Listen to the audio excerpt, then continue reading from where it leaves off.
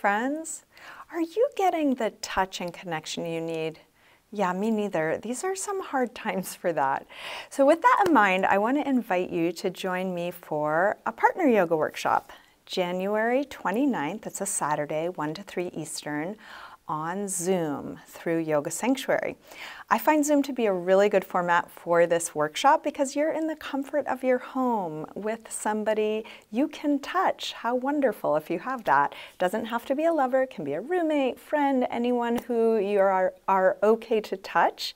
We'll be doing some gentle partner assisted stretches and more importantly, cultivating a quality of presence and connection that is so needed. So I hope you'll join me, sign up through Yoga Sanctuary, and I'll see you on the 29th.